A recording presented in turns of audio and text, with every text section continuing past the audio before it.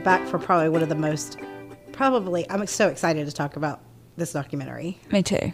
I mean, the second, like, while I was watching it, I was like, I cannot wait. Well, we've been talking about it since we saw the previews. Oh my gosh.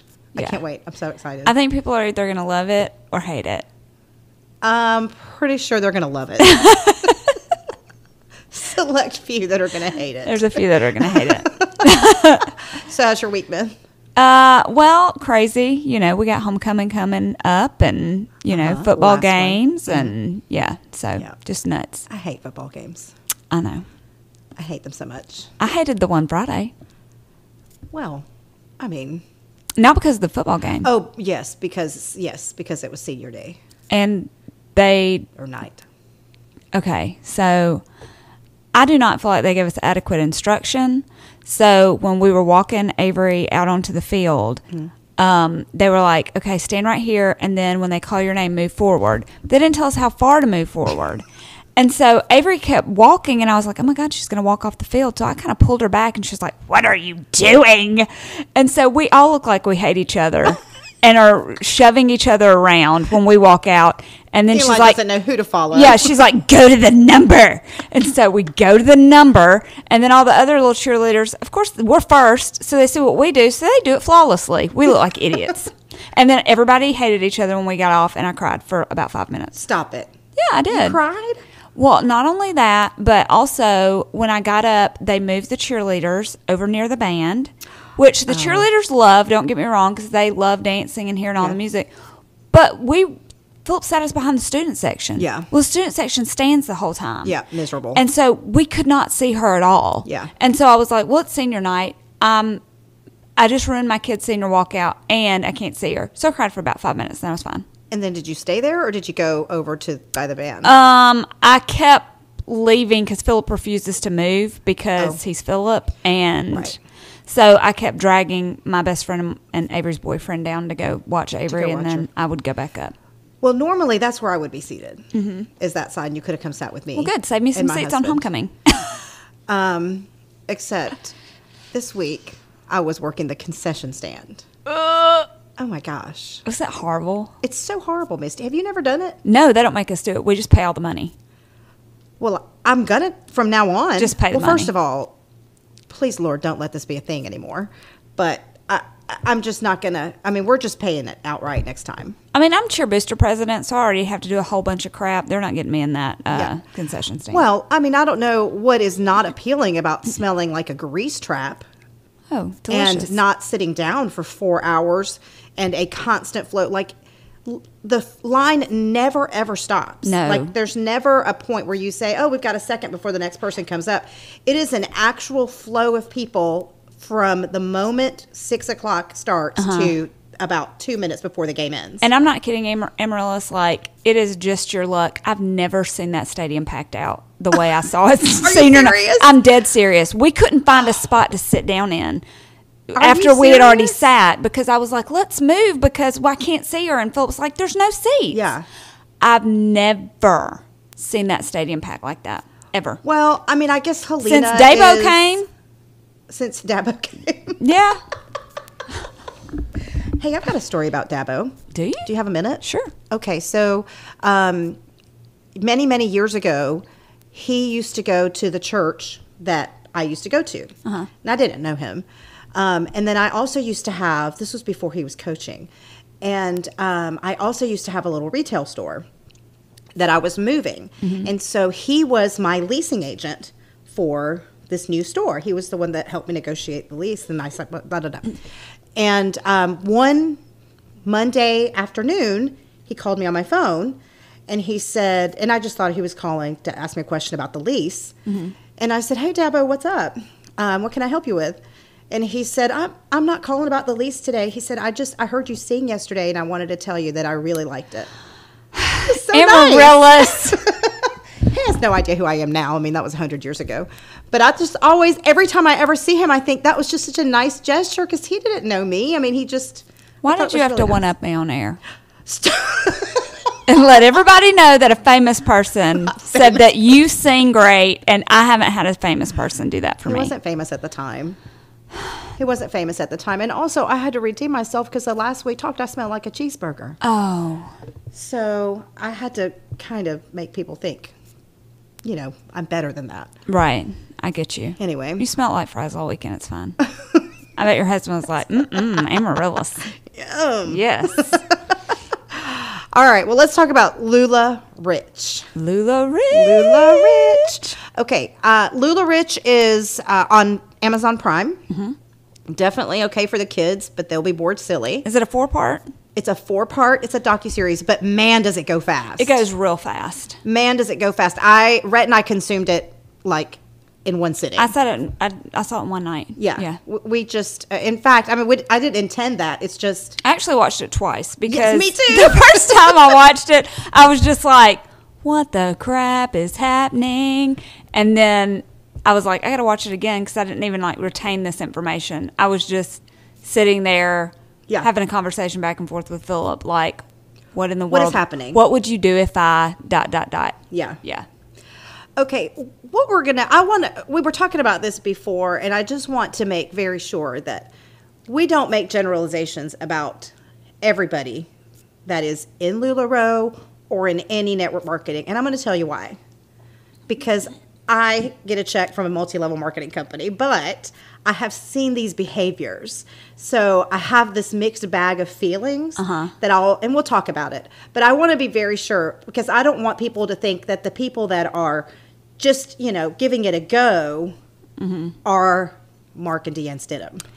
I do not get a check from a multi-level marketing company, but I have gotten them in the I have gotten them in the past, and I mean enough to buy some Starbucks on the weekends. You Yeah. know, nothing crazy, but Right. That's know, standard. That's like the normal. that's the normal. Yeah. So I mean, I get it. I understand the draw, and Yeah. you know, for some people it works, and for some people it does not. yeah, for most people it does not. For most people, it does not. Yeah. Yeah. But in particular, what we want to talk about is these crazy people. Please tell me what you thought of Mark and Deanne Stidham. Stidham? Stidham? Stidham? Stidham? Um, I don't know. Mark and Deanne. I thought they were the Jim and Tammy Faye of network marketing. For us, every time they came on the screen, it was just the credibility just immediately went down. Like where you might think these are some lovely women, this company can be redeemed. Uh huh. The second they start talking, you just realize these people are Please forgive me. show. I hope it was editing, but they do not seem very smart. Well, Deanne for sure. I mean, like, they don't seem like they are knowledgeable Yeah. in any field of their own business. Well, I just think they got in over their heads and they didn't know what to do. Yeah. And and They the were way just they making reacted it up was the wrong way. as they went. yes. Yeah. And they unfortunately went the wrong way. And the whole way that they're trying to encourage these women was way off the mark, in my opinion. Oh yes. Yeah. Yeah. Uh, yes. We'll get into that later. So let me tell you something about my multi-level marketing experience, Okay. okay? So I have three children, two of which have special needs, and so I always knew I needed to be at home in some capacity. Now, um, I did that by going to school and I got my medical transcriptionist license and I worked from home as a medical transcriptionist for many, many years. And a lot of people think, oh, that's so easy. You just sit there. It is No. grueling, hard, painful work. You are sitting at a desk. You get paid um, per line. So how fast you type is how much money you make.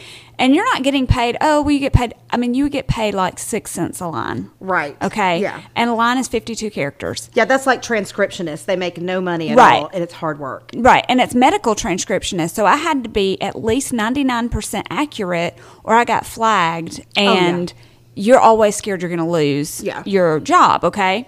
So it was very stressful. It was very hard. I worked crazy hours because that's when I could do it because you have to have headphones in your ears. And when you're home with kids, you have to be able to hear your kids. So mm-hmm. I worked before they woke up. I worked at nap time and I worked when my husband got home from school, from work. And I did that for 10 plus years. Wow. Okay. And we needed it and it helped with our income and we were fine. But once we got to a place to where I didn't need as much income, Philip was making more money. um, I started seeing these different multi-level marketing, especially once I got on Facebook and you know um, the whole social media thing took off. I started to see these women who were staying at home with their kids and they were making all this money and it was so fun. They were having these parties and so I was like, I'm fun. People like me. Yeah. And it it never failed. Whatever party I went to, every time the woman would be like, You would make so much money. Yeah. Okay. And I mean, I think a lot of myself. Correct. Correct. Yes. So I'd be like, You're right. I can make a lot of money. People like me. Yeah. I'm good enough. I'm smart enough. And doggone it, people like me. Yeah. Okay. And so I did. I signed up for the first one was Mary Kay. Okay. Failed miserably. Okay. Okay. Terribly, terribly, terribly. And Mary Kay, now they wanted you to buy not only the starter kit, but they wanted you to buy some inventory. Right, okay. right. And so I think I, I did it with Philip a couple of times, and he um, bought me this inventory. Okay. And I probably still got some of that inventory. Okay. Well, we love Mary Kay makeup. We so love that's Mar- good, yeah. nothing's wrong with Mary Kay makeup. Yeah. I just I could not. I didn't have. sell it, yeah. I couldn't sell it. I Yeah. wasn't friends with the people that wanted it. Yeah. So then I started selling um, Jamberry, Jamberry Okay, nails. I used to love Jamberry nails. Girl, I still love Jamberry nails, and I did pretty good at Jamberry nails. Oh, yeah? I had a team under me, Oh. and we sold. And I think one time I got like an eight hundred dollar check. Oh, nice. And I was like, oh my gosh, this is fabulous. Da, da, da. But the thing with Jamberry, which differs from LuLaRoe, is you had to keep up your own personal sales, which I think is fair. Yeah. You had to keep up your own personal sales in order for you to get paid for what your team made. Right. And to make those personal sales, buddy, you had to throw parties. Yeah. And I got sick of throwing parties. Yeah. And I got sick of being away from my kids on the weekends. Yeah. And I just got tired of it. And so I let it go. And I'm sure there's still people that do Jamberry. I know they had a little financial issue at one point. I don't know. I read something. But Then now anyway. there's that Color Street that people love. Color too. Street, love it. But I've still got 45,000 Jamberries. Anybody wants to come to my house, we will have a party. I have tons of Jamberry. I, I, love love them. I love them. I haven't used them in forever, but I do love them.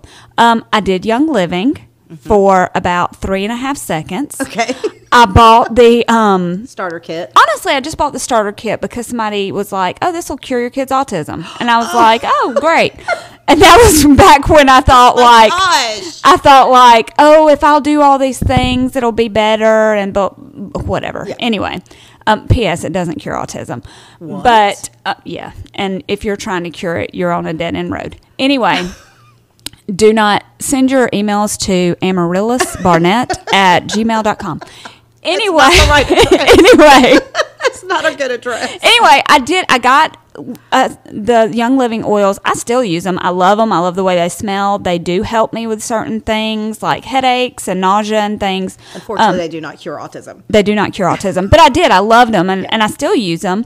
And I tried to to do that little business for a little bit, but it's an expensive startup kit, and so I found it really s- a saturated market. There were a lot of it was the huge oil boom. There were a lot of people doing it, a lot of people making a lot of money, and I got in real low, so I didn't make nothing. I think I lost money. Oh, Yeah. That's too bad. Um, but other than that, then once that happened, Philip was like, mm, "You're done. We're done here. You're done with this."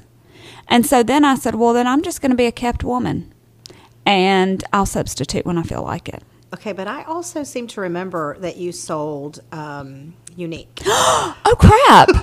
Younique was one of my best things. How did I forget that? I did. I sold Younique, and I did really good at Younique. You were so good at it. I was really good at it. I'm still good at it. Um, I would do makeup videos, Yes. and people love those makeup videos. That's when I videos. first met you. Was it really? Yeah. You know, people still come up to me and go, "Oh, "I lived for those makeup videos." They were so fun. I need to just do them with what I use now, like Yeah. from Walmart. But anyway, um, I loved Younique. Again, it was one of those things where you had to keep up your own personal sales, Yeah. and I'm lazy.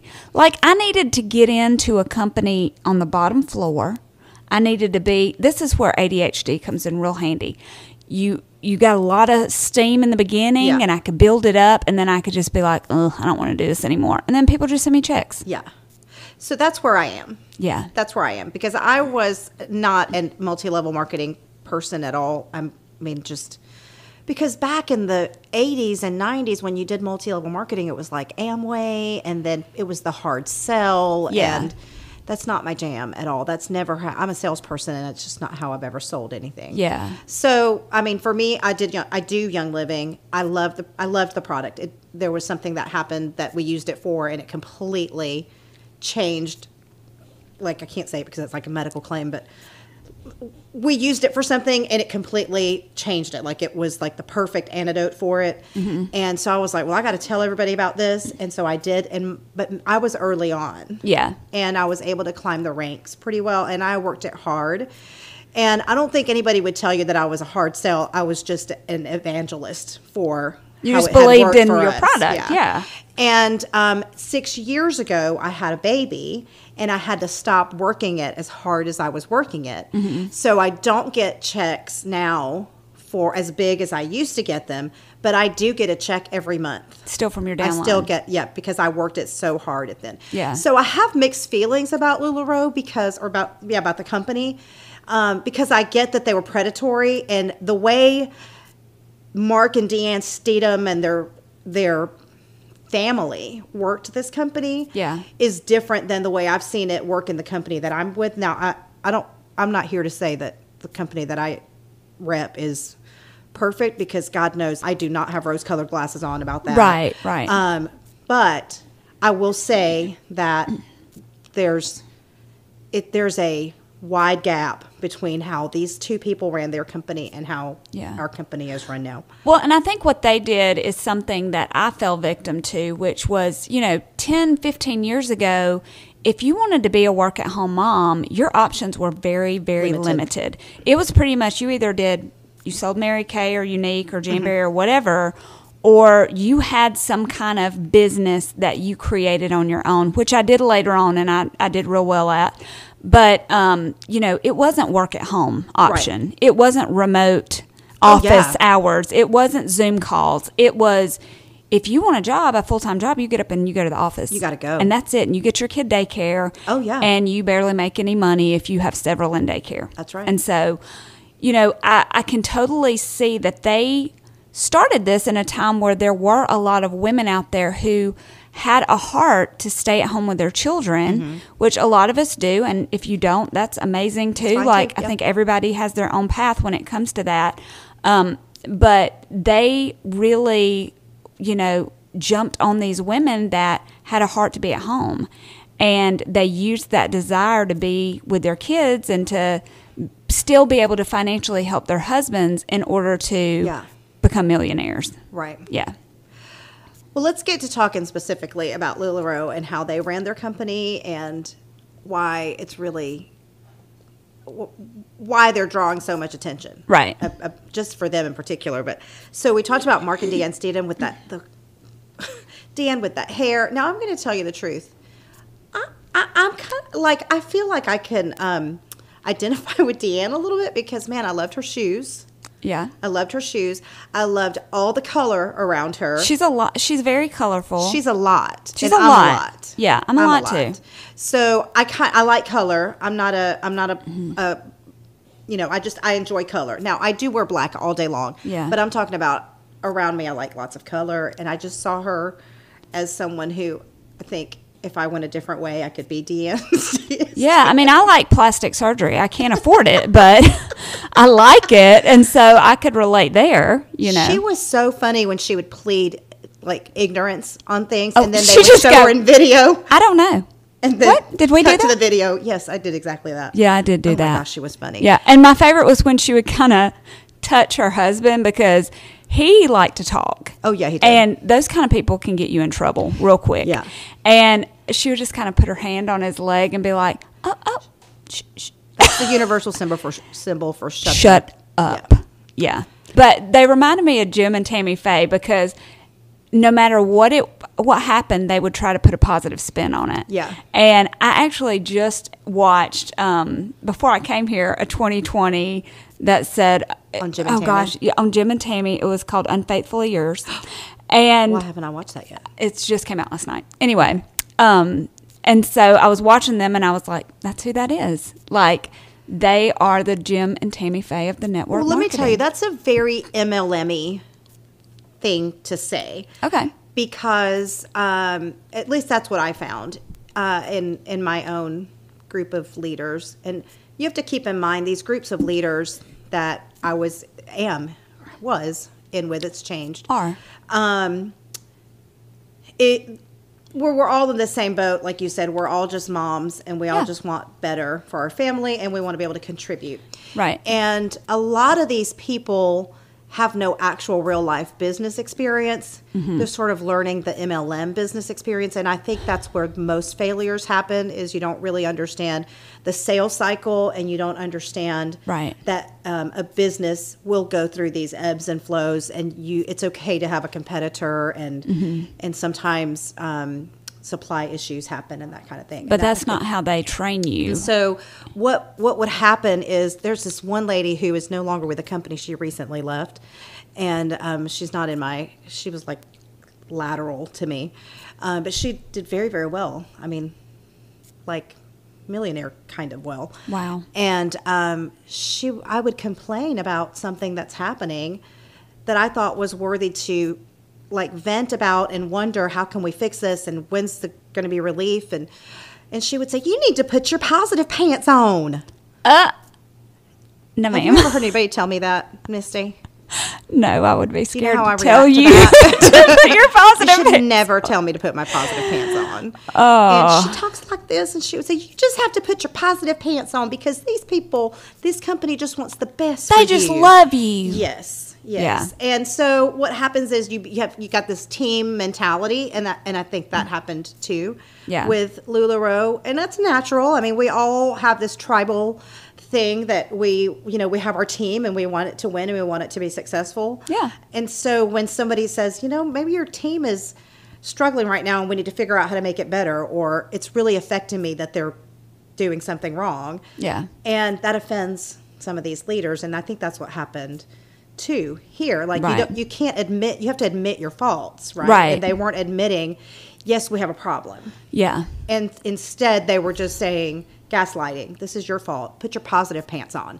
You've got to keep going. Well, and most of them have gotten themselves into a financial state that, yeah, they're making a lot of money, but they've also invested a lot of money. Yeah. And so when they see these cracks in the foundation, they see destruction of their own financial well being. Five thousand dollars to onboard, Girl. minimum. Do you know what I would have to do with my husband to get $5,000? Think about that. I looked at him while we were watching this and I said, it's a $5,000 buy in. Now, this is not the ninety nine ninety nine or forty nine ninety nine buy in like Jamberry or Younique or whatever. I was like, $5,000. And he was like, Misty, I there's What not enough things. There's not enough things. Like it wouldn't happen. And it wasn't. That's the minimum The minimum. because they even had like a ten thousand dollar package. Crazy. Yeah, and you can't pick. So the thing is, you can't pick your. Uh, you can pick the styles and you can pick the sizes that you order, but you can't pick the patterns on the items that you were ordering. So you could get. I mean, if um, I couldn't have the ones with the starfish crawling up my cooch, I wouldn't want it. well, or the t- Leaning Tower of Pisa that look makes you look transgender. Yeah. like you have a penis coming out of you. Yeah. They had some design issues. Yeah, they had some design issues, but that's just a that is when I think of that, I I may as well start my own actual boutique, like Right. where I can go to market and pick my own things for that amount of money. Which I is mean, what I think these women thought that they were doing. Ye- oh, like, yes. this is my own boutique in my home. Yeah. But you're not getting to pick what you sell. So if you don't have control over that, how do you market it? How do you right. say, this is the best thing ever? Yeah. You don't even know what's coming in your box. Well, you pretend that it's the best thing ever. Yeah. You pretend that it's the best thing ever because you know that lady that was in the documentary named Becca Peters. She's got a. That- she was kind of like the one that so- she was the one that sold washi tape. uh huh. Okay, she has a group on Facebook called the Defectors Group, Uh-huh. and I got in that group because I'm messy. Um, I love it. hey, girls. like three or four years ago, I read an article about the problems that had started popping up, and so Mm-hmm. I, it interested me because I also rep an, a multi-level marketing company, and I wanted to know, or you know, is this something that I should expect? Because I was new to the whole thing. Yeah. and um, we did not we did not have these kinds of problems so i can happily report but um, so i got into this group and i i was not interacting i just was there strictly to look around and um, so i had been seeing these things pop up well before it became public like you would see these women just go in there and say I can't get my money back. They told me that they were going to give me my money back, and they didn't They give it back give to it me. back, yeah. Or I can't get in the queue. The queue is, you know, like they're going to have a capsule release, Yeah. and um, and That would happen with Younique sometimes. We would they would release a new product Yeah. and I mean it would sell out because if you didn't buy enough, I mean especially if it was something new, I mean women loved this. It was great makeup. Yeah. Um but it would sell out and you would get in there at whatever time and the system would crash. yeah, Or somebody had ordered too many or they would get so and so to order like it was always it felt like something was kind of, Yeah. you know, messed up. Well, I think that's probably true across the board of anybody that does that kind of thing. But Mm-hmm. I mean, that website will always crash, like on Black Friday, or, course, yeah. you know, something like that. But I think, in particular, here they were giving some of the higher, um, ge- the gener- the ones who generated more money, More of a chance to get Right. these capsules, and so then you're. You know, your person who just dropped five thousand dollars on four credit cards, Your little to guy. be able to start this business is getting what they called this was what they generically called the Dorito chip designs, Yeah. which is like the '80s triangles with the little, and so those seem to be like on almost everything. And poor Sally over here pumping breast milk all night long to sell it Yes. to pay for her LuLaRoe. And then one time, that Patrick guy who was the like the designer, and he was bald. Mm-hmm. Yeah. he one time um, made leggings and sent them out to his IFRs, the Inter- Independent Fashion Representatives, I guess is what they're called. Yeah. Um, he put his face on leggings. He sent them out. Oh my gosh. Yeah. Yeah. Like women would order um, a, a box of leggings or whatever, you know, Right. with their with their huge next order, which Yeah. they're supposed to replenish after every single pop up. Right. So you're always You're always spending. ordering uh, every money, everything you ever make goes back into the business, which Right. honestly is how you do business. You make money, you put it back in the business, and it takes a while for you to generate profit. Right. Um, now it didn't but- it didn't start off this way. Like let's talk a little bit about how she started the business cuz when I first started watching and they start going through the history of how LuLaRoe Mm-hmm. came to be, you're kind of like impressed. Like Yeah. I was kind of like, "Whoa, this is a, a go-getter right here." Like this was a woman who started just making maxi skirts. Misty, she said she made a hundred thousand skirts. I do not believe that. You don't believe it? I do not believe You that. don't believe it? I believe she had those little daughters in there making skirts. Probably Yeah. a hundred thousand dollars is. I mean, a hundred thousand skirts is a significant amount of skirts. That's a lot. Now, listen, I used to have a little business called Sassy Straps. yes. And it was, I made camera straps that went on DSLR clear that up? cameras. Yeah. And I made a lot of them.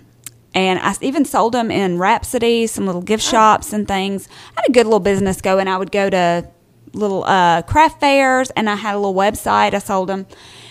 And let me tell you something. You would be surprised at how many sassy straps I could make really, when I was under the gun. really. Yeah. One I remember one time I had it was when they had just first started doing like these um jane.com where you go on and you can buy so and so for real cheap. Well, a lot of these women are um self craft makers and they make these things and send them to this company. Okay. And this company ships them out, okay? Okay. And so they had accepted sassy straps for one Christmas season. And I thought, well, this is great. And so basically, no. they were like, send us five styles. We will sell them for you. You make them, send them to us, and we'll send you a check. They got a cut of it. So I was like, this is great for everybody. 500 straps later, Oh my gosh. one Christmas, I'm not kidding. Philip worked at a hotel at that time, and my mother graciously kept my children for a weekend. Actually, it was like four days. Philip took me to the hotel, and while he worked, I stayed in a room with a sewing machine, Oh my gosh. and I made 500 sassy straps. over one weekend. It was about four days, and then um, a week prior to that. So I had like a week and four days to get them done. Yeah, I was. So you did them in nine days. Yeah, Okay. Mhm. yeah, Nine days. Well, that's week like like seven days, and then four Yeah. days, so eleven days. yeah. So 11 days. Mhm. Okay. Oh my gosh. Yeah. Okay. I mean, I was busting them. How do we extrapolate that? Like, I can't do the math really fast, but eleven Yeah. days. I mean, I was making like probably 80 a day or Oh something. wow. Okay. Yeah. All right. I, I, mean, sew. they they were they were simple design, but that's you have to cut them out. Yeah. You have to sew them together. You have to flip them. You have to iron them. Yeah. And you have to sew in the things. And so never again. never never again. again. Oh. I mean, yeah. It. Okay. was it was awful. well, maybe okay. Maybe she's telling the truth. I mean, it just seems I like mean, an if it was over exaggerated number. years, I might I might believe it if it was over years. All right. Well, I just my instinct is to say that is a significant number of skirts. Yeah. Hundred thousand skirts. But okay. All right. So yeah. So she was making these maxi skirts, and this was after she had started selling children's clothes. Mm-hmm. Like she was selling children's clothes because she's got the personality, right? She's got the. She she seems She has like the charisma. yeah, she seems like she draws people to her. Mm-hmm. Um, maybe not so much now because of what we know. If the documentary's to believe, like she's friendly and happy and sweet. I mean, that's how she comes off. I'm not saying she is that way. Right, right. So I hope that makes sense. Like she's chipper and she's like everybody, everything's positive. I've got my positive pants on, you know. And so I can see where people would be drawn to that. Right. Before she got private jets and you know chartering cruise ships and that kind of stuff. Sure. So I can see where people would be drawn to her buying all these clothes, and then you know, I guess maybe she could have sold hundred thousand skirts. So anyway, so she sold the skirts, and then she says uh, she accidentally starts LuLaRoe basically because somebody was like, "I can sell these for you." Yeah. and that's She's like, she wrote. awesome. Yeah. Yeah. So let's talk about once they've started this company and they've got some representatives under them and they have to start coming up with some ways to train these people. They have to start coming up with kind of guidelines of how they're going to get this merchandise out to these people. And um, behind every multi level marketing business, there's kind of a. Um, like a mission statement. Yeah. Okay. And so LuLaRoe, I don't know their mission statement per se, word by word, but basically what they try to try to sell this under is kind of a one woman said like a Mormon platform. Like um and I'm I'm not Mormon. I don't know. I have friends that are Mormon, but um they were using a lot of Mormon scripture, and then also on top of this, were pretty much saying you need to do this business um, not for you, but for your husband. yes. Because you're going to start it, but you need to hand it over to him because he's he's smarter and he can do it better. What is wrong with these People, people? will listen to him. Girl, I wish I would sell $1 million worth of leggings and then be like, Philip Gillespie, it's all for you. No. No, ma'am. Uh-uh. Uh, okay, before we talk about that, the the LuLaRoe mission statement is to create freedom, serve others, and strengthen families through fashion. Through fashion. It's a community where lives are being improved through love, purpose, confidence, trust, and growth. I mean, that's why Philip wears the suits he does Yeah, to improve lives through to fashion. lives through fashion. That's what he does. He likes to bring the gospel through fashion. Well, it is. Well, you know what? He brings me a lot of joy. He really does. when I see him Yeah. in those suits. Um, yes, my favorite, very favorite, was when that guy was doing like in-house trainings, and he was Uh-huh. a he's just a husband, and he said, "Ladies, you have to let us in. you have to let us in." He said, "We gave you five thousand dollars to start this, thing, Yeah. so now you have to give us part of this business." And P.S. LuLaRoe doesn't make men's clothing. What the heck? He just wanted the money. He just wanted the money. He just wanted the money because so And I love so the it's all- one. it- when when he makes the money, it's his money that he gave to her. Right. But when she makes the money, it's their money. it's their money. or his money. Yeah. Yeah. exactly. Right. And this was like this was you know that lady that was on there who lost her house and her marriage, and she was a what they call a coach, Yeah. which is like the highest level. Um, she she talked about how once she achieved that highest level, they no longer would talk to her. They would only address her husband, Right. and they wanted her husband to quit his job. Yes, they want the husbands to quit their jobs. Um, they want the women to give the business over to their husbands because, in hopes that these families will become totally and utterly dependent on LuLaRoe. Yeah. That they have no other source of income.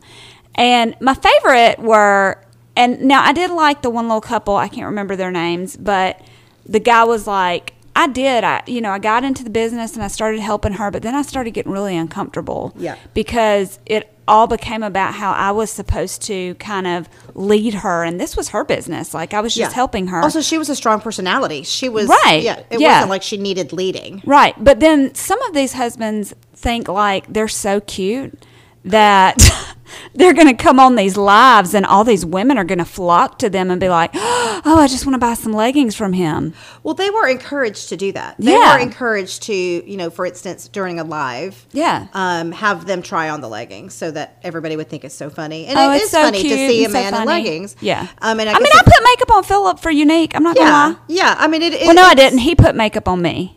He wouldn't let me put makeup on him. Well, he's got limits. He's got limits, He's but got he limits. did do a makeover on me, and it was hilarious. Yeah, I do remember that. I think. Yeah. Mm-hmm. Um, but but the short of it is, they were really just trying to make sure that that The whole family. this family they could never leave LuLaRoe. I mean, if Right. you've got a, if you have somebody that's building a business for you Mm-hmm. that's bringing in thousands and thousands and thousands of dollars a month, yeah. tens of thousands a month, Yeah. you would definitely want them to be with you forever. Right. Yeah. Right. But but they got really involved in personal lives, which is really where I think people have had enough because it, it's one thing to have gaslighting when they tell you you're not working hard enough, Mm-hmm. which is a standard MLM tactic. Very. Um, because um, nobody will acknowledge that some people are made for sales and some people are not made for sales. Yeah. They feel like it's a one size fits all, and and that's that's true of I think the industry as a whole. Um, so that's one thing. It's another thing to be told you're not you're you're not working hard enough. Right. Okay. It's another thing to not have a good product Mm-hmm. and to tell you to lie about the product like they were telling them your leggings are fine. There's no holes. It's totally fine. Right. Um, there's no mold in that yeah, bag. there's no mold in that bag. That is not a wet pair of leggings. I wish somebody would tell me that pair of leggings is not wet when I'm holding it. yes, when you're wringing it And out. I'm sh- I'm pouring water out of the bag. Those aren't wet. They are not wet. No, yeah. Your sense of smell is altered because of COVID. So No, that's the Holy Spirit So all, over of that, leggings. you know, all of that is enough, right? LuLaRoe, Mark and Deanne Stidham go a step further and they get involved in your personal life. Right. And we're not talking necessarily just about your marriage, which they do get involved in your marriage. Mm-hmm. Deanne had even sexual advice for her IFRs. Uh. P.S. I'm not taking advice from her. No. no. No. Oh, we haven't even talked about how they have 8,000 children. Oh yeah. And one of them married another one. Two of their kids are married to each other. Yes, they are. They're not biological They're not siblings, biological, but they didn't know still, each other, but that's it's still creepy. weird. Yeah. Um, so all of that is one thing. But then she starts telling people, you got to have gastric sleeve. Honey, you've got to look good in those leggings if You've you're going got to sell them. So going down to Tijuana, I've got a van that's going to pick you up. Y'all, we're not joking. This is Right, we're not making this This is this is on the documentary. Yeah. We're going to get a van full of ladies that need to lose a couple. Yeah. We're going to take them down to Tijuana, Yeah. get them the gastric sleeve so they can lose weight to look better in these leggings so they can sell more leggings. Oh, yeah. You know, I, in that group that I told you that I was in, they've been talking about that for a long time, and I couldn't even believe what I was reading. And if you do it, maybe you'll get to go on the cruise with us. and you can wear a two piece. What? yeah. Can you imagine? I mean, I, Can it's just, imagine? it's mind boggling. And the worst part me. is there were so many women that took her up on that offer. Mm-hmm. Now I'm not clear. Did she pay for it? she got them deals. She had a deal running with this surgeon in, Yes, in I'm doing air quotes, surgeon in Tijuana. And if you would go with her group, she could get you these group rates. Okay. And so they would all go down together and get them done. Yeah. And then come back. I mean, no, she ain't trying to pay for nobody's. I mean, get real. Look, but I told my husband that I'm pretty sure I'm about to onboard with LuLaRoe just so I can go down. just so I can, I mean, if they'll do, if they'll give me a boob job, I've never had any. let's do it. I'll do, I'll sell leggings tomorrow. We will come back looking we'll to- Fabulous. yeah, we'll have to get our hair white blonde and wear Look, let me- lots of makeup. Now my hair's already white blonde. Now listen, this is where I would struggle with LuLaRoe because in one of my multi-level marketing businesses that I did, like I said, there were many. I had one woman tell me that the reason I wasn't making the sales I needed to make was because I wasn't getting up and getting fully dressed like I was going to an office every day. Okay? Oh she said, if you will get up and you will dress, not in regular clothes, Yeah. but like you're going to an office, then you will make better sales. And I told her that I will not get out of my pajamas until after 12. and she will like leave a reasonable like a reasonable adult. I will go through the carpool in my robe and she will shut up about it. She doesn't get to tell you. You don't you're not the boss of me. She does not get to tell you. You don't that. get to tell me what to wear, much less to put a gastric sleeve in my body. Yeah. Yeah. So, fun fact just because you sign up under somebody does not make them the expert on sales and business. No, most of these women don't have business degrees. In fact, I would say about 99% 99% of don't. them. Yeah. I think, and the people training them at LuLaRoe Right. don't have business degrees. no. They're just like somebody's aunt's cousin's brother. Yeah, they're just writing up these Yes. training seminars and they're mostly hiring their kids. Well, they had a family meeting. Yeah, family were like, meeting. you get a job, you, get, a job, you get, a job. Yeah. Yeah. And you're a VP. Yes. Okay. Yes, yes. Okay. So they go back and forth on this documentary. They go back and forth because they got they've been sued dozens of times. But the big, big, big lawsuit that they had recently was the state of Washington. The state of Washington sued them for being a pyramid scheme. Right. So what's the difference in a pyramid scheme? So pyramid schemes are illegal. They're federally illegal, right? Mm-hmm. Right. Um, and what that means is you make your money off an opportunity for somebody. Basically, it's a Ponzi scheme, right? Right. So you're you're not selling any product. Yeah. And that's what was happening here. They were You're selling a dream. You're selling the dream, Mm-hmm. right? Um, and they could say, "Well, no, we're selling clothes." But they were bonusing them just because they were building a team or a different. yeah. Right.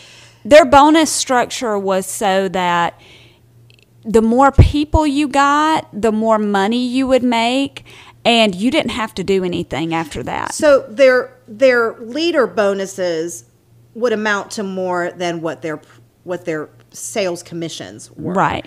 And um, and that's again pretty standard in the in MLM industry. And I get it. I mean, it's just how you do it. And and I mean, I get it. And I have actually benefited from that before too. But what the problem came in is with LuLaRoe, they were not just rewarding people for growing their team, they were only fixated on growing your team. Right. It wasn't, and so what that would mean is these women were like, they were being told, you know, don't worry so much about selling that Carly. Why don't you worry about finding three or four more people to sell under you to right. onboard? Because they were not selling the product to consumers, they were selling the product to, To each their other. each other. Correct. They're Yeah. not selling it to an end user. Right. And And, they had also let the um, market become so saturated. 80,000. 80,000. Yeah. They didn't have a cutoff on how many of these fashion consultants they could have. They were onboarding upwards of a million dollars a day. Oh, yeah. I mean, to the point that people were waiting months and months to get their shipments in Yeah. to be consultants. Well, I mean, you know as well as I do, and this was my problem like when I did Young Living. There were already so many people Mm-hmm. doing oils that you run out of customers. Well, the guy, the MLM expert, said that you can only go down 13 levels before you exceed the population of the earth. Right. Yeah. Right. Yeah. So, but, but you know, I I have it's I've, I've mixed feelings because, like I said, I love my MLM. Like I, I, I, I don't look at it with rose-colored glasses. Like I said, I recognize that there are lots of faults and things that can be improved. But I mean, I get, I, I understand the structure. I, I don't know. It's kind of like with churches, right? People are like throw away. They just leave the church because of hypocrisy and because of this, that, or the other. But I understand. I understand people and I understand Mm-hmm. nature and. It's kind of the same thing here. Like I understand the business world, and I understand the structure, Yeah. and there are people that take advantage of it. And I'm not against MLMs at all, but I think it needs to be understood, like you were saying. Um, there is a very small percentage of women that can do it and make a Full time, full time income. Okay. Um, and even less women that can make more than a full time income. Right.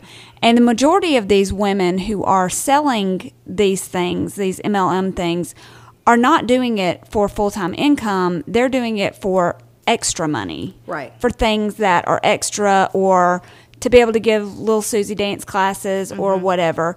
Um, and that's that's great. That's fine. That's what I think these things are are great for. Yeah. But I think that women need to be told that in the beginning, and nobody's told that. Yeah. Everyone's told they can be the millionaire. Correct. Yeah. Correct. You can you can reach the top, and the truth is, You can't. Just like the rest of the private sector, not everybody's going to be CEO, and not everybody's going to be CFO. No, you know, you're not. Uh, most of us are just going to be the underlings. Right. Mm-hmm. Right. But you're exactly right, and that's where LuLaRoe got in trouble because the state of Washington said we're seeing a pattern. You're selling to each other, Mm-hmm. and you have predatory tactics, and um, and so they lost the lawsuit, and so they had to pay out four point three million. I think they didn't say the number there, but I looked it up. It was four point three million, and but you know what? Um, I did the math, and there the checks that are, that were being cut to like thirty six hundred people. It's only like eleven hundred bucks per person that they had to send out, and 43 4.3 million dollars in a billion dollar company Yeah. is not all that much. It's not, yeah. It's not all that much. Yeah. Yeah. So they were onboarding like a million dollars a day. The Right. real rock stars of this documentary, I think you'll agree, are Lachey and oh, what is his name? Oh my word! Oh, the guy that got fired? Derek was Yeah, his name. I Is think that it his was. name? I can't think of his name. know if I wrote Oh him down. man, I can never think of people's names. I didn't write it down either. Yeah, uh, wh- but you know who I'm talking about? The customer service guy. Yes. Who hates Kelly Clarkson. She can't, he said he loves Kelly Clarkson's music, but he can't listen to her to this day. Why doesn't he hate Katy Perry? I don't know. Maybe he does, and he just didn't have time. So they brought Katy Perry five million dollars, Crazy. five million bucks for her to play at their convention. Uh-huh. Um, Kelly Clarkson also played at their convention. Crazy. And then, of course, who else would you get but um, Slater from Say by Bell? They're on par. Like the three of them me are up. class A. Sign me up right now. so that these women who are who are really I mean they're probably millennials but maybe a little bit like older millennials they totally remember Slater. oh yeah, they were like, "Get my picture with Slater." yeah, that's kind of predatory if you ask me. Yeah, they were like A lot. Join LuLaRoe, get Mario whatever. I feel like is." Mario Lopez got victimized in that. You think? So did Katy Perry Yeah, and Kelly Clarkson. Wow, Can you imagine what they think now? they're probably like, How embarrassed are they? Or maybe they're laughing all the way to the bank.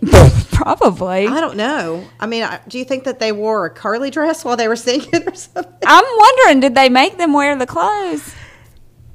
I don't know. Hey, what do you think about these clothes? Okay, can I be honest? Oh gosh. Look, I know we have LuLaRoe consultants that we're friends with, and I have known people. Now, listen, I've never bought a piece of LuLaRoe, and let me tell you why. It is not my style, even though I'm sitting here in leggings and a t shirt, but it is not my style. I do not think it is flattering on bodies, um, and I'm not a fan of the design work. So for me, it was never anything that I was like, oh, I got to get my hands on that maxi skirt or Yeah. you know those leggings or whatever. And also, P.S. I'm cheap, and so I would look at that and I would go, well, I can go to Walmart and get a pair of leggings for five dollars. I mean, I'm not about to pay forty Yeah. bucks for leggings. Yeah. And so the LuLaRoe thing never really was good for me. Yeah. Number one, because I don't care what everybody else is wearing. Yeah. And there was a time when everybody wanted some LuLaRoe Oh, yeah. leggings. I mean, I remember and them talking about how comfortable they were and blah blah blah. Um, I don't care, and I don't like the way they look, and they're just not cute to me. Well, okay. So Well, there you have it. I never fell on that bandwagon. Do I get it? Yeah, I get it, but Yeah. it just wasn't for me. So I have bought some LuLaRoe, and I'm not. I bought like I did buy some leggings because they were at when I bought them was I think at the beginning of the hoopla, and they they were good, like solid, um, like buttery and like what they talk about the buttery leggings. But um, and then I bought like a jacket, maybe, like a cardigan, a cardigan. Um, I think that's it. As a favor to somebody, or because you really wanted it? No, I liked the cardigan. I still have it upstairs. It's got like big roses on it. Because I'm not gonna lie, ninety percent of things I've bought from multi-level marketing businesses were from friends because I was doing them a favor. Yeah. I mean, honestly. Yeah. And most of the people who probably bought from me were doing the same thing. Yeah.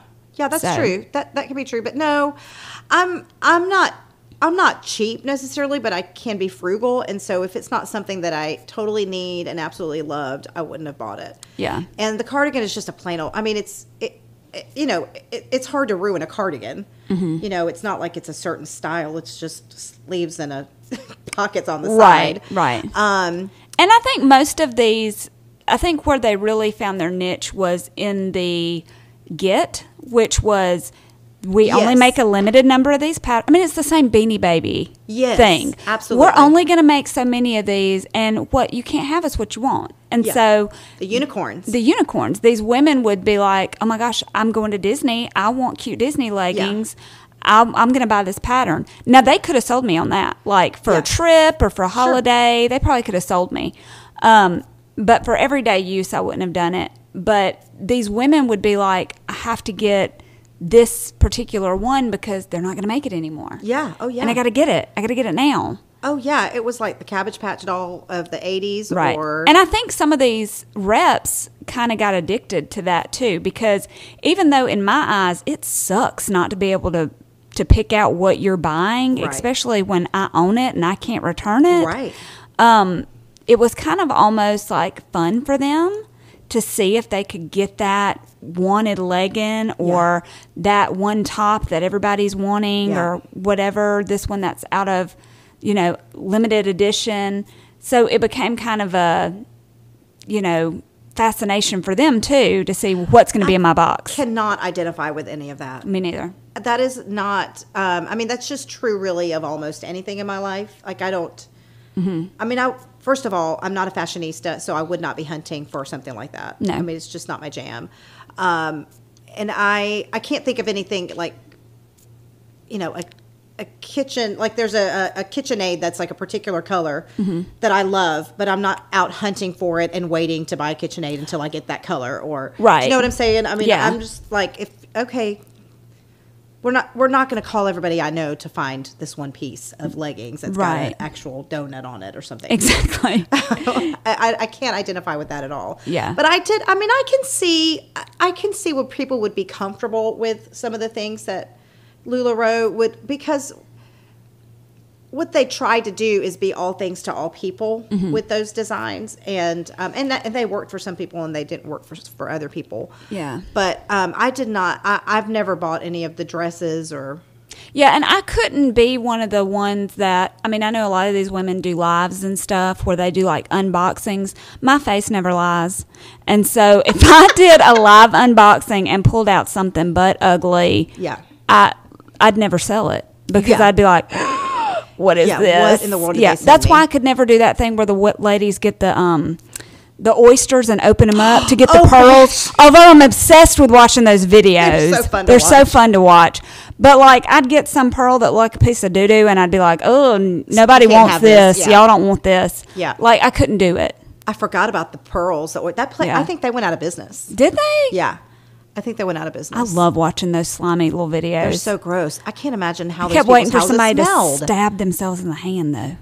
Oh yes, I always sho- thought that would happen. I would cut seven of my fingers off. I always thought that would happen. Yeah. Um, also, like I need to understand how that worked because, yeah, how do you know there's pearls in there? well, they're farmed, so you know that like Yeah, but you don't know. you don't know what's in it. I guess. I don't. But how do you know it actually made a But pearl? also, I don't want. I don't want buckets of oysters in my house. Pew wee. I don't want that. I mean, these people were sitting on their No. kitchen tables opening up oysters. Can you imagine sitting down on the couch with your man about to watch a movie and you put your hand up by Oh. his his face to rub his cheek and he's like, "Ooh, that's fishy." Oh, Honey, I'm coming to bed in just a few minutes after my live. Yeah, I just got to go pour some ketchup on my hands to get this fish smell off. Oh Be there in a minute. It's so gross. They would just open these five gallon buckets. Full Yeah. Of, I guess it was five gallon buckets. Seems like I remember that. But I anyway, love totally watching 'em. forgot about that. I totally Yeah. forgot about that. Um, but anyway, the clothes, they're just, they weren't my jam because most of the time I did buy a couple of dresses, I remember, because it was somebody that was going out of business. And when they I do that, they were going out of business. when they do that, that was my favorite. Like if I ever saw anybody going out of business, I would totally look and see, is there anything maybe that I might like? And Yeah. almost always, almost never, there was never. What can I grab out of this house burning down? But I did get. I remember I got one for Catalina because there was it was like a really tiny dress and she never liked it. So, Like I bought it for I don't know six dollars or something. Mm-hmm. Yeah. Like I bought it at a loss for them. Yeah. Um. They were just trying to get rid of it, and I don't even remember who that was. But And so a lot of these women end up in that position. Yeah. They they purchase all this merchandise. They're not able to build their team the way that they thought that they would be able to or they're not able to sell the items that they're getting in their boxes or sometimes they're getting damaged items, they're getting moldy items. Everything's just kind of going downhill. And so they they file this one of the ladies files a lawsuit and says look they won't let me return any of this stuff it's damaged it smells i mean it wasn't just oh well you can't return the stuff that's in good standing condition they wouldn't even take back the mold Right. like they were like you bought they it They wouldn't acknowledge it. they wouldn't acknowledge it. They bought it at yours. So she files the lawsuit and she wins. And so Lula Rose says, okay, we're going to come up with a new. Um, Return a new policy. policy. You can return anything you want for LuLaRoe. We will give you all your money back. Now this is a business that has no risks. Yeah. You can buy as much as you want to and return every bit of it and always get your money back. So the women Bam. are Yeah, bam, fix. So the women are like, "Cool. Yeah, let's do it." Um, again, that kind of hypes up their their onboarding a little bit because Mm-hmm. Right. women are feeling comfortable that Yeah, you know there's work, no I can send it back. there's no risk. I can send it back. Well, they do that for a little bit and then they go, eh, never mind. Why? Did, well, because they had so many people that left. Let me tell you. And I love that they put on there. There's no time limit to this. no time limit. But that also meant indefinite. you never know when it's going to be up either. It reminds me of the story my mother tells when she lived in communist Cuba. She and her family lived in communist Cuba. And there were starting to be, like, people were starting to rebel, and they were like, What's happening? We did not bargain for a communist dictator when we helped in the revolution. Right. And one day, Fidel Castro said, You know what? I'm tired of this. If you want to leave for the United States, you can leave. Bye. Thinking, Ain't nobody leaving. Felicia. So thousands upon thousands of Cubans left Cuba, and that's how my mother made it to the United States. The mass exodus. Yes, mass exodus. So it reminds me of that. Like Lula Yeah. Rose was like, fine. If you think it's really bad, then we'll give you your money back. And they didn't really think that that would happen. And a lot of women won their money and back. this was when they left. Now, when they did that, it would take five, six, seven, eight months to get their checks back. Right. Because I remember being in that group again and watching all these women say, I'm done with LuLaRoe. I'm sending back all my stock. Mm-hmm. And then they would say, and then like they would take pictures of everything they were sending because they didn't want to get told, You didn't oh, you send didn't that." send it back. Right. Yeah, you didn't send it Yeah. back. Um, like they would take pictures of like wrapping it up Mm-hmm. and, um, you know, putting the tape on there and going to the UPS store and getting the tracking Yeah. because they would, did not want to be found like without their money. And this was not a few items. I mean, you have to imagine that these women had rooms dedicated to LuLaRoe, garages dedicated, built onto their well, they house. were told to do that. Yeah. Yeah, they were told to do that. because this is their boutique. But I also can understand that too. I mean, if you're doing a live and you think you want, I mean, if you have a regular boutique, Yeah. If you're not in LuLaRoe and you have a regular clothing boutique, you're going to want that anyway. Right. So I get it. What what really gets me is being told how to run your business. It's like this is what you need to do in Mm-hmm. Right. order to be successful, with us instead of kind of giving let, giving them autonomy because it is their own business. Mm-hmm. Um, but then they changed it. Then they changed and they were like, you know what? we I don't guess we can really afford this. So um, You then they said back you can oh, you can't return holiday items. right. You can't return. They had come out with this thing called the Elegant Collection, I think it was called, and it was basically lamé on all the stuff.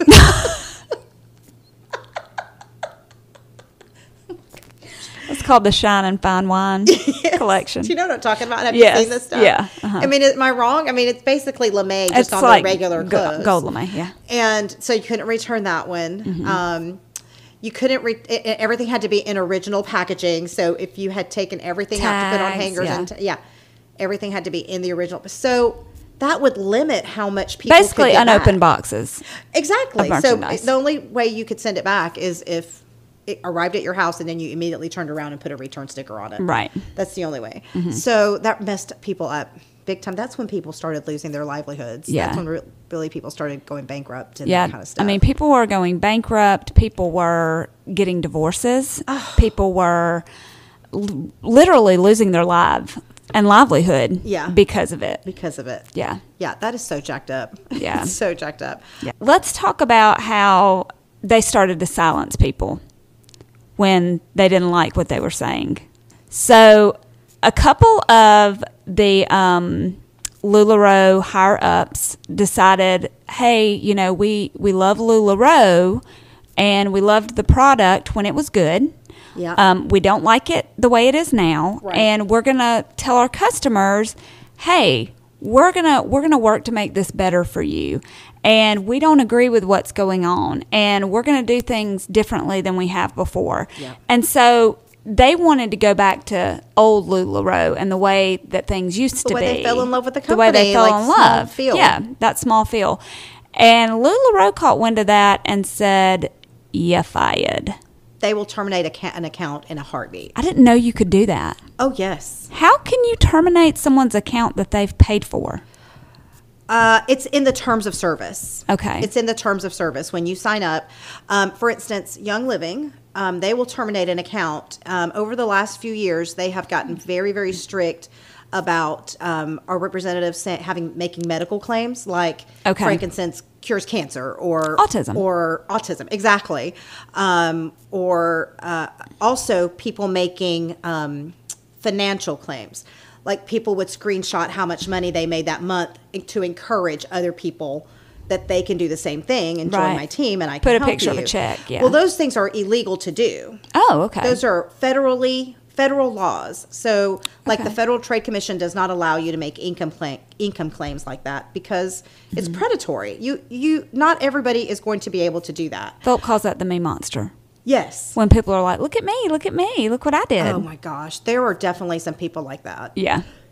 And LuLaRoe was big about that. They wanted you, if you had something good happen to you, whether that be Oh, gosh. you buy a house or a car or whatever, that you put hashtag because of LuLaRoe. Yes, I I have seen that across the board on a lot of companies. Mm-hmm.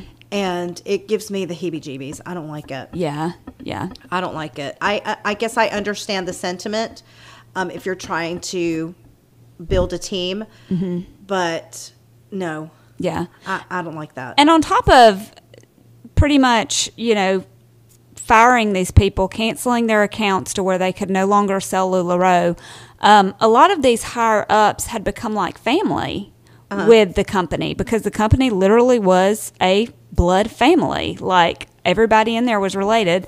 And they cut off all contact and personal relationships and then told other LuLaRoe employees that they were not to have contact with them either. It's like freaking Scientology. They're they're being what's called fair gamed. You know Uh-huh. what fair gaming is? Yes. And uh, what's the other one? Um, when you cut off somebody. uh, Oh gosh, suppression. Sup- they're sup- they're suppressives basically. So Yeah.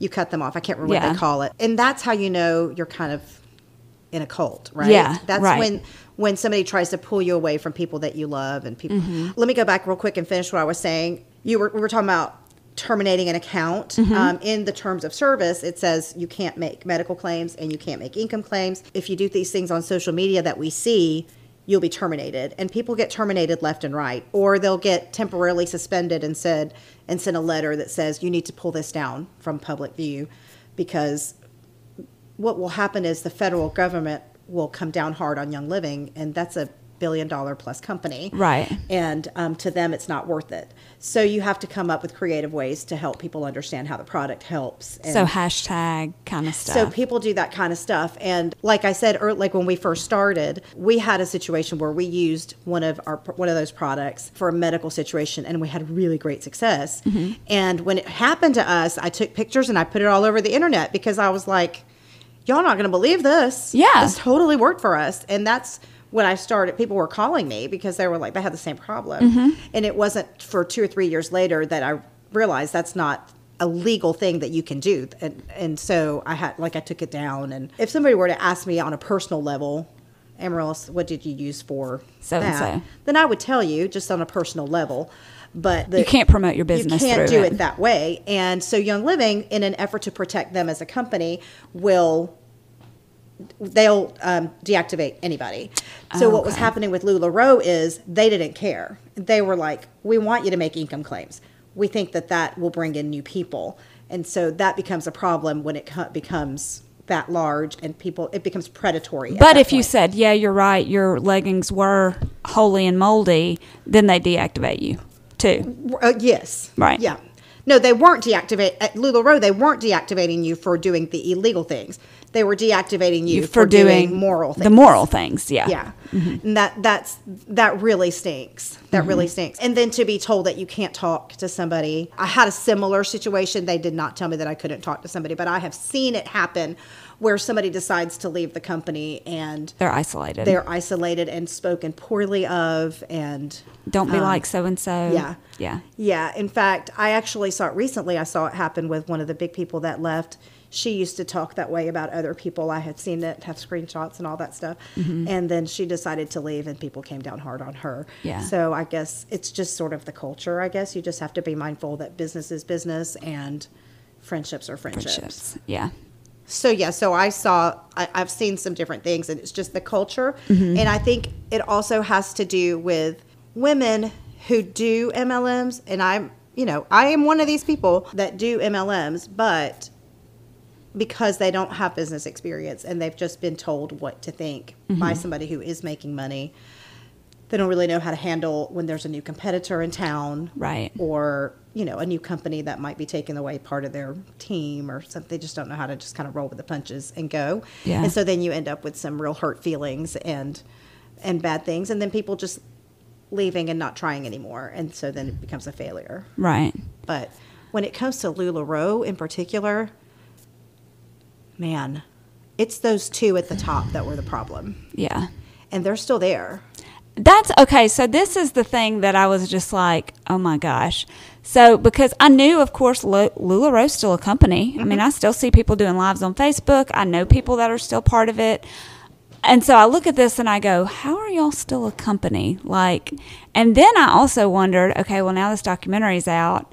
How much longer will they be a company? And are these people who have invested so much and maybe they haven't had a bad experience, maybe they've had a good experience. Well, there were, you know, we didn't even talk about those people. There How- were plenty of people that had great experiences. I, I love the lady that was like, "This is a white people business." A white people business.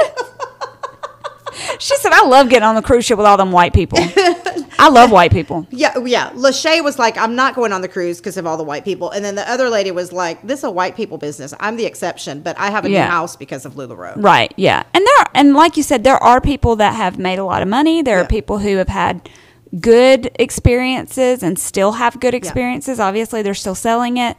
Um, but then I wonder about them, like you know, what's going to happen to their business Yeah. once people start watching the documentary or listening to this podcast. So I'm going to make a prediction. okay, These types of things happen.